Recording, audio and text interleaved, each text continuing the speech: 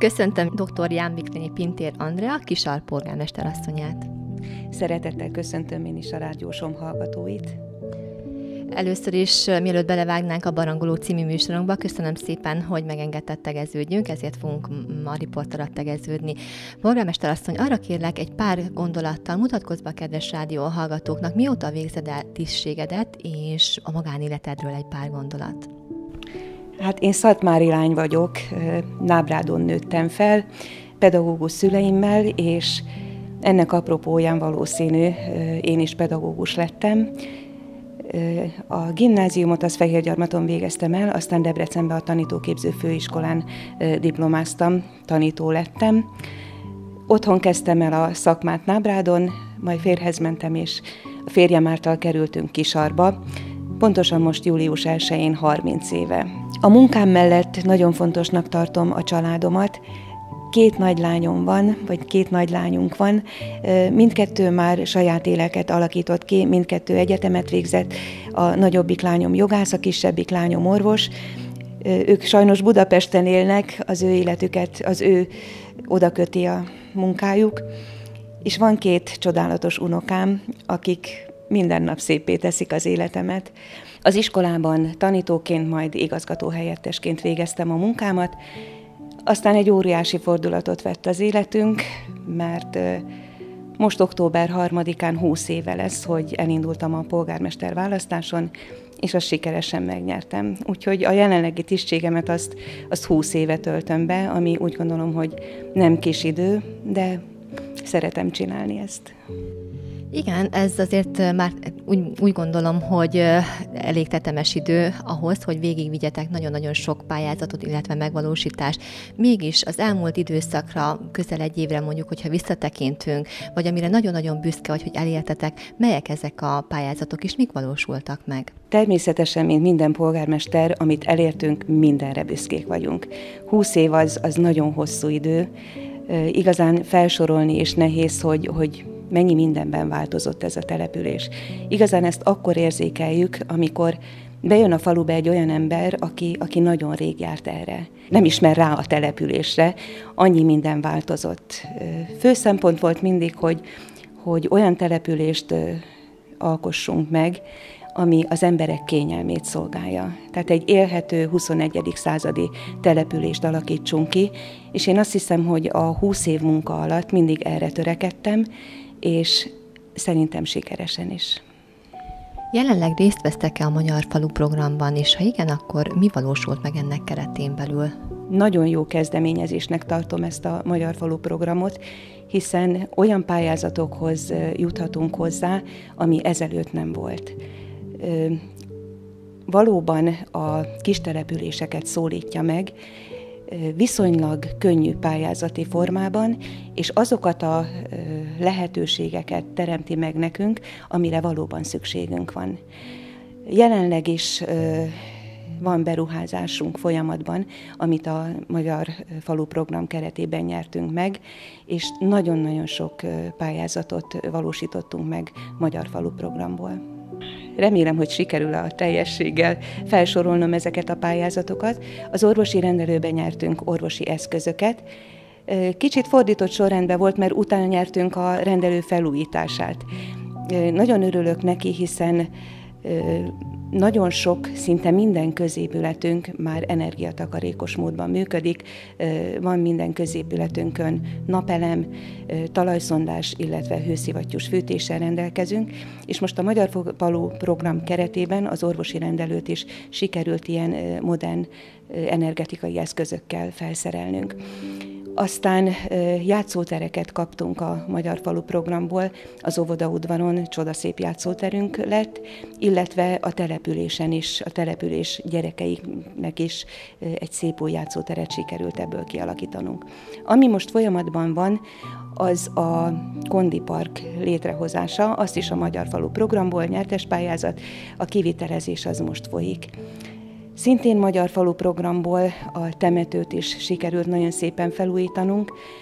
Egy szertartási helyiséget, körülötte lévő területet nagyon szépen felújítottuk, rendbetettük, illetve urnafalat és vadonatúj halott hűtőt sikerült vásárolnunk ebből a programból.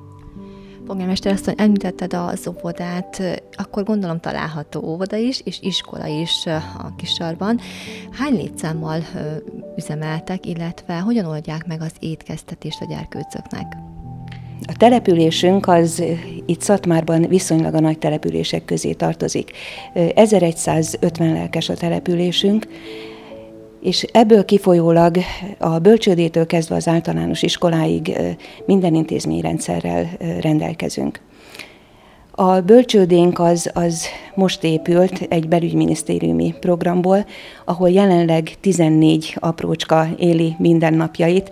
Borzasztó büszke vagyok a bölcsődénkre, hiszen Hallottam kollégámtól, hogy azt mondta, hogy a, az iskolájuk az ország legszebb iskolája. Hát én ezt el szeretném mondani, hogy szerintem a mi bölcsődénk az ország legszebb bölcsődéje, még ha nem is nekünk, akkor is csodaszép. Még lehetne egy másik csoportot is létrehozni, de ismerkedünk a rendszerrel, úgyhogy egyenlőre még egy csoporttal működünk. Óvodásaink 50 férőhelyes óvodánk van, az is csodaszép. Az ország legszebb óvodája, nagyon ügyes pedagógusaink vagy, vannak, és nagyon szépen kialakították a környezetet, hogy az óvodás gyerekeink úgy érezzék magukat, ahol egy óvodában valóban kell a szüleiktől távol. Ide 50 gyerek jár, most egy kicsit kevesebb a gyereklétszám, de a születéseket nézve én bízom benne, hogy újra elérjük ezt az 50-est. Az általános iskolánkba három településről járnak, Kisar, Nagyar és Tivadarból a gyerekek. 110 gyerek jár a három településről, nem mondhatom el, hogy, hogy ez egy erős létszám, de minden osztályt megfelelő létszámmal tudunk indítani. Itt sajnos vagy nem sajnos a városnak a húzó ereje az közel van, de hát ezzel szerintem minden település küzd. Étkeztetést azt az óvodának a konyhája van, egy nagyon jól felszerelt konyha, amit megint csak több pályázaton keresztül tudtunk felszerelni, úgy, ahogy egy 21. század konyhájának ki kell néznie.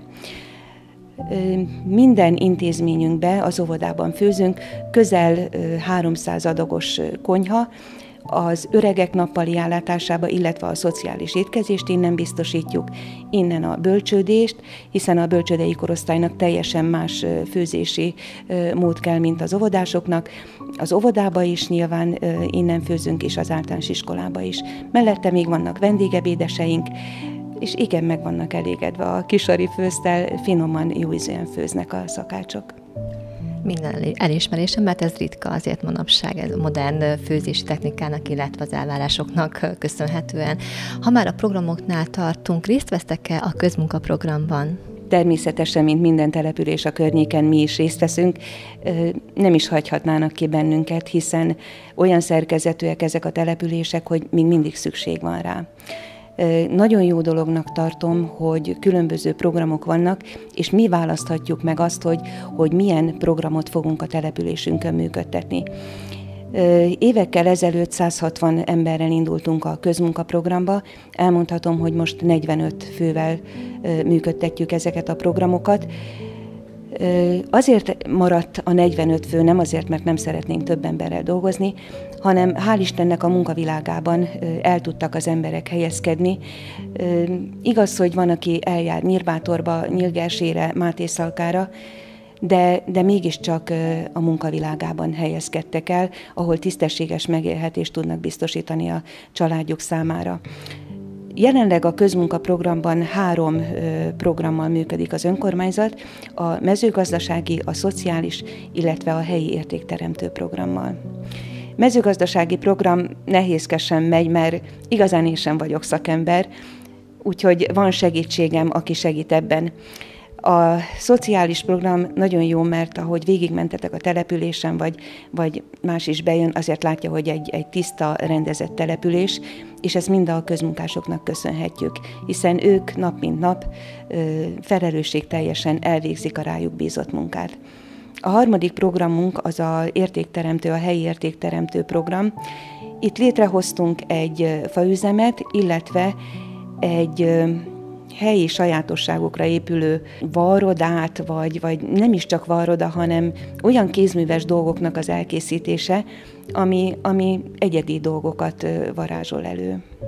Igen, ez lett volna a következő kérdésem. Minden településen meg szoktam kérdezni, hogy mi a produktuma a közmunkaprogramnak, de amint már jöttem be, láttam, hogy nagyon-nagyon sok kézműves dolgot készítenek szerencsére, és tényleg így a levendula, ahogy beszéltünk is már ez, ez mm, a műsor előtt, hogy levendula ültetvényetek is van.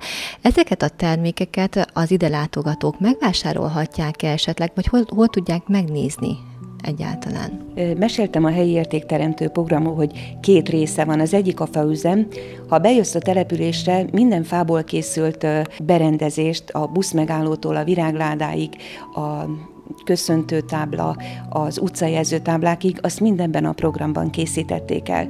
De ha van egy rendezvényünk, és ott látsz padokat, asztalokat, azokat is mind a közmunkások készítették el ebben a faipari részlegben.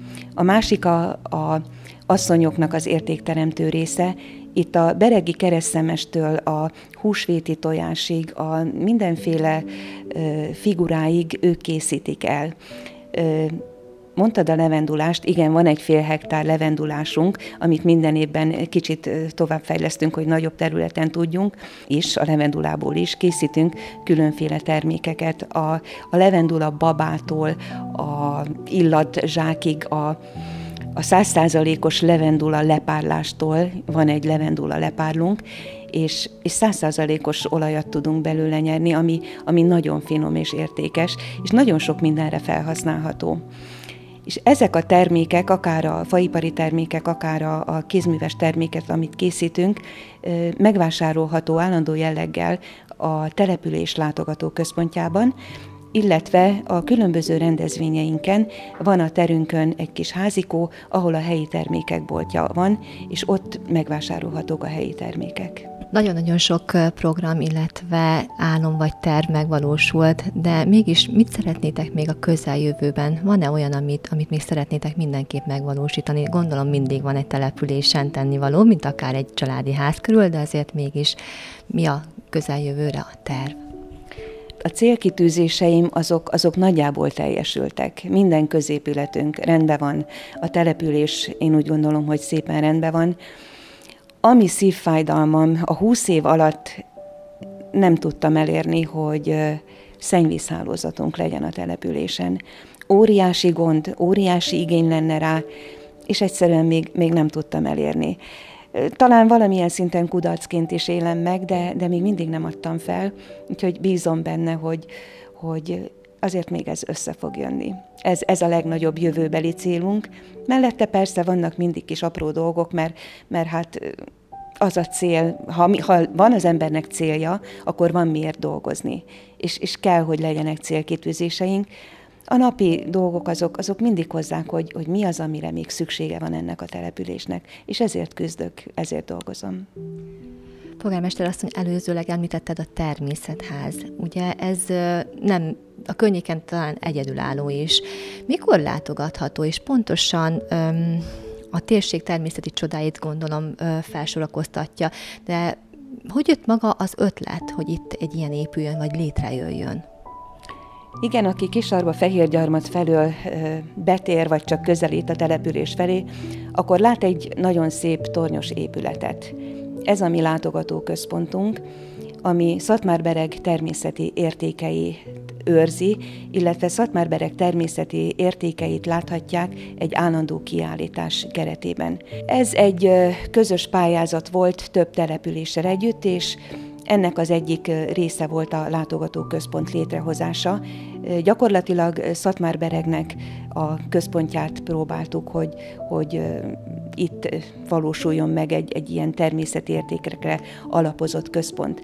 Nagyjából sikerült is. Ha betér a látogató, akkor egy nagyon szép épület fogadja kívülről, belülről. Farkas Miklós tervezte, ő Makovec Imrének volt a tanítmánya, és teljesen a Makovec stílus jelenik meg bent az épületben. A látogathatósága az, az kicsit nehézkes, mert igazán nincsen szakemberünk, aki, aki ezt irányítja, de azért mégsem zárhatjuk be a látogatók előtt, úgyhogy hétköznap, május 1-től október 30-áig 8-tól 4-ig látogatható. Aki hétvégén, vagy esetleg a május és a október közötti időszakban, a téli időszakban mégis szeretné megnézni, a telefonszámunk ki van írva, és meg tudjuk oldani, hogy egyéni igényeket kielégítsünk. Ez már önmagában egy igen érdekes, és tényleg családnak, illetve gyerekeknek is igen látványos, hogyha ellátogatnak. Ezen kívül még, aki ide el szeretne látogatni, milyen élményben részesül, milyen látnivalót tud megnézni? Szatmárban járunk, itt vannak a folyók, nagyon szerencsések vagyunk, mert a településünk mellett folyik a Tisza. Csoda szép télen-nyáron, nyilván nyáron többen látogatják, de télen is szép és, és érdekes. Tehát mindenképpen a, a Tisza. De Európa hírű dzsungelgyümölcsösünk van, mindenki keresi, szívesen mutatjuk meg azt is. Ugye a látogatóközpont, az is egy, egy csodaszép dolog, és hát tele van a településünk, nem a településünk, de a környező része kerékpárutakkal. Olyan kerékpárutakkal, amik a gát tetején futnak, és én ezt egyedülállónak tartom, azért, mert nem a közút mellett kell kerékpároznunk és szívni a, a gépkocsiknak a, a káros anyagokat, amiket kibocsátanak, hanem a, a természet közepén kerékpározhatunk. És minden időszaknak megvan a, a gyönyörűsége, a szilvavirágzáskor, kerékpározás közben érzed a szilva illatát, tavasszal, mikor már a szilvavirágzás elmegy, akkor kezded érezni, ahogy pesdül a tisza, és, és azt az iszapszagot. Igazán nem tudom leírni, mert én, én idevaló vagyok, és, és nekem ez az iszapszag, ez, ezt az otthont, a hazát jelenti. Idegen, aki ide tér, lehet, hogy neki nem olyan, de, de nekünk igen. Ahogy meséltél, már az embert magával ragadja az érzés. Remélem nagyon-nagyon sokan ellátogatnak, és tényleg jó, mert felfedezi akkor a környéket is, mert ki van alakítva nagyon jó kerékpárutak. Említettük a természetet, ha jól tudom, tanösvény is található. Ezekre iskolás csoportokat is vártok, vagy pedig egyéni, egyénileg is látogathatóak ezek? A környékünkön van tíz tanösvény. Ez pontosan abban a pályázatban valósult meg, amelyben a látogatóközpont is. Ez lehet csoportosan is, és egyénenként is. Igazán vezetett túránk nincsen, viszont aki betér a látogatóközpontba, és érdeklik a tanösvények, mindenki kap tanösvényvezetőt mindegyik tanösvényről, úgyhogy önállóan is, a terepen is vannak vezető részek, önállóan is nyugodtan végiglátogathatja ezeket a tanösvényeket. A település lakóit látom, hogy nagyon nagy az összetartás azért, akár így a, mint mondtad is, az értékmegőrzés kapcsán, de a település lakóitnak szoktatok-e valamilyen rendezvényt szervezni. Itt gondolok idősek napjára, amikor megtartjátok gyermeknapra, illetve bármilyen családi napra, vagy pedig falu napra. Vannak többféle eseményeink. Gyereknapot tartunk óvodában, iskolában, bölcsődében. Nem szoktunk falusi gyereknapot tartani, mert ezek az intézmények külön mindenki megrendezi, viszont az önkormányzat támogatásával. Már hagyomány nálunk a Szent Iváni tűzgyújtás. A település közepén van egy rendezvényterünk, ott szoktuk megrendezni, és kicsik nagyok összegyűlnek. Egyre többen, egyre népszerűbb kezd lenni, és nagyon jó ö, közösségkovácsoló hatása van. Nincsenek sztár vendégek, inkább így mondanám. Ö, aprócska fellépőink vannak, egy tűztáncos vagy, vagy egy népi táncos, de próbáljuk igazán hagyományosan ünnepelni ezt a Szent Iváni ö, tűzgyújtást, a Szent Iván ö, napját. Aztán, ha az anyagi helyzetünk úgy engedi, akkor Igazán nem falunapot, hanem családi napot szeretünk tartani. Ez ősszel szokott lenni ősz elején, ahol a település apraja nagyja részt vesz a közös programokon, közös játékokon, és együtt tudunk annak örülni, hogy, hogy itt vagyunk egymásnak. Természetesen minden évben mi is megrendezzük az idősek napját, általában csomaggal és kis műsorral szoktuk köszönteni az időseket, ebben részt vesznek az óvodások, az iskolások. Most kezd kibontakozni egy nagyon szép, véleményem szerint egy, egy nagyon szép programunk, a karácsonyi forgatagunk, ahol tavaly volt az első, és remélem, hogy, hogy idén is folytatódik. Három napon át a település központjában karácsonyi vásárt, illetve karácsonyi műsorokat, forralt bort, iszogatás gyerekeknek, habos kakaót, és együtt töltött beszélgetést, igazán ráhangolódunk az ünnepre. Ha már karácsonynál tartunk, a község lakóinak szoktatok el karácsonykor ajándékcsomagot, vagy a gyerekeknek Mikulás csomagot összeállítani? Igen, kapnak a gyerekek Mikulás csomagot. Itt is a, a Mikulás napi rendezvény az, az megint csak intézményi szinten van, viszont magáról a, az ajándékozásról a település gondoskodik. A karácsony közelettével minden települési lakosnak évek óta már élelmiszercsomagot biztosítunk. A legjobbnak tartjuk az élelmiszercsomagot, hiszen karácsonykor mindenki süt, főz, és, és nagyon sok hasznos dolog van, amit fel tudnak használni. Természetesen mellette szerepel benne a szaloncukor, egy kis Mikulás, de a Covid ideje alatt azért figyeltünk arra is, hogy fertőtlenítőszerek, tisztálkodási szerek is legyenek a csomagban. De ezt nem csak karácsonykor, hanem húsvétkor is megajándékozzuk a település lakosait. Akkor is speciális húsvéti dolgokat az élelmiszerek mellett, egy kis sonka, egy kis kalács, gyerekeknek nyuszi. Igyekszünk az ünnepet ezzel is színesebbé tenni a településünk lakosainak. Még egy nagyon fontos dolog, mindenhol ö, vannak tovább tanuló diákok, legalábbis okos gyerekek. Részt vesztek-e a Bursa Hungarikában, és igen, hány fővel? 20 éve csatlakozott a településünk a Bursa Hungarikához. Ö, azt sem mondhatom, hogy változó fővel, mert általában egy, egy 10-12 fő ö, mindig van, és örömet jelent, hogy, hogy igyekeznek a fiatalok tovább tanulni. 5000 forinttal támogatunk havonta minden fiatalt, ugyanannyival, amennyit megkap a, a Busa Hungarikától. Sajnos még nem volt rá példa, hogy szociális alapon a megyétől is kiegészítsék 5000 forinttal, de én úgy gondolom, hogy minden tovább tanuló gyereknek, aki egyetemre, főiskolára jár, az, az a havi 10 ezer forint, az, az nagyon jól jön, és, és a családi kasszába is besegít a, a szülőknek, hogy nem kell még ezt is a gyereküknek fizetni. Polgármester asszony, előzőleg említetted, hogy fontosnak tartod húsvétkor, illetve karácsonykor is akár egy összejövetelt, vagy egy ajándékcsomag összeállítását.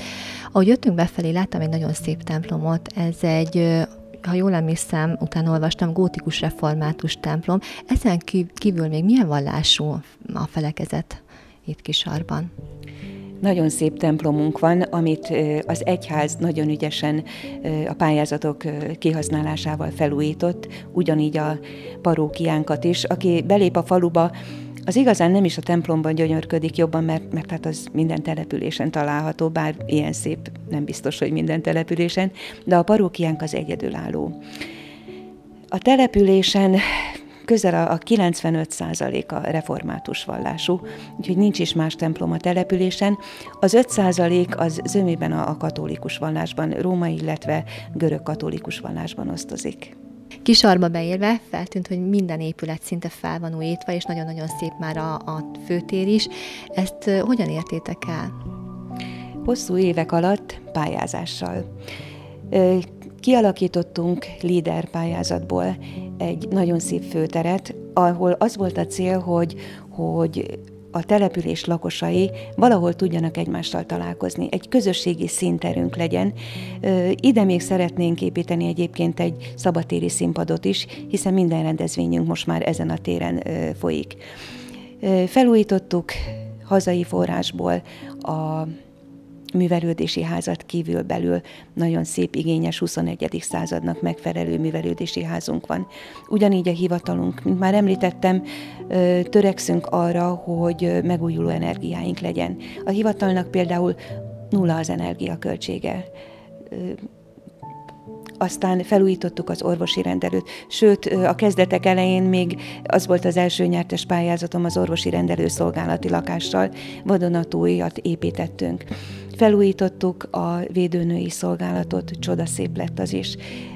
Az óvodánk szintén pályázati költségekből újult fel. Felújult az idősek otthona, nappali ellátással látjuk el az idősek gondozását. Nagyon szeretnek ide járni az öregek. Ezt is pályázati forrásból kívülről, illetve a berendezést. Igaz, hogy ez már régen történt, úgyhogy szerintem ideje lenne megint csak egy pályázatot nyerni erre. Törekszünk rá, hogy, hogy ez is sikerüljön. Kisár lakosa is gondolom részesülnek a Magyar Tűzifa program keretén belül ilyen támogatásra. Ez pontosan hány családot érint, és ezt hogy kell elképzelni, hogy per fő, vagy pedig mint család van megszabva a fejkóta? A Szociális Tűzifa programban az legelejétől részt veszünk, tehát már az első között pályáztunk rá, azóta állandóan. A maximális mennyiséget szoktuk megpályázni, és majdnem mindig meg is kapjuk ezt. Szociális rászorultság alapon ö, szoktuk a tűzifa igényt elbírálni. Igyekszünk úgy kialakítani a szociális rendeletünkbe, hogy minél több lakos hozzájusson ehhez a tűzifához lakóház szerint, tehát helyrajzi szám szerint lehet igényelni a tűzifát, és ez alapján kapják meg a lakosok.